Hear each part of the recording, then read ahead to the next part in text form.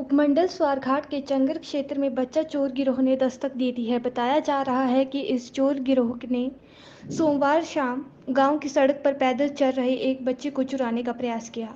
ग्राम पंचायत कौड़ावाली के गाँव जज्जर निवासी मंगल सिंह ने बताया कि उसका 12 वर्षीय बेटा प्रिंस ठाकुर अपने घर से कुछ दूरी पर स्थित दोस्त के घर सड़क पर पैदल जा रहा था। इतने में पीछे से एक बाइक आई। बाइक पर आगे बैठे चालक ने हेलमेट लगाया हुआ था, जबकि पीछे बैठे युवक ने अपनी पहचान छिपाने के लिए मुँह पर रुमाल बांधा हुआ था। बच्चे को अकेला देख इन्होंने बच्चे के करीब आने पर उसे कुछ सूंघा दिया, जिससे बच्चा कुछ देर के लिए बेहोश हो गया। ऐसा जान पड़ता था कि चोर क्षेत्र से भली भांति वाकिफ थे क्योंकि सीसीटीवी से बचने के लिए चलाकी करते हुए चोर कैमरे में आने से बचने के लिए कैमरे वाले स्थान पर बच्चे को पीछे ही नीचे उतार देते थे और चाकू दिखाकर उसे पैदल आगे जाने को कह देते थे ਚੱਲਿਆ ਇਹ ਹੁਣ ਦੌੜਨਾ ਇਹਨੇ ਉਹ ਬੜੇ ਮਜ਼ੇ ਨਾਲ ਆ ਰਹੀ ਉਹਦੇ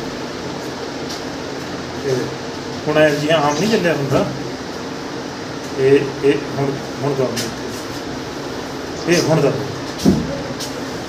ਪਹਿਲਾਂ ਬੜੇ ਮਜ਼ੇ ਨਾਲ ਆ ਰਿਹਾ ਇਹ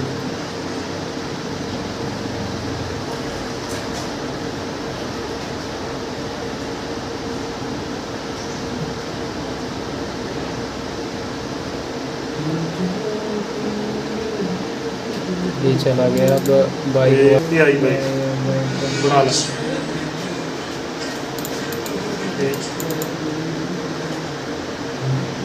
चला चलो। क्या कर सकता हूँ? घाट से आपका फैसला के लिए सुभाष चंदेल की रिपोर्ट।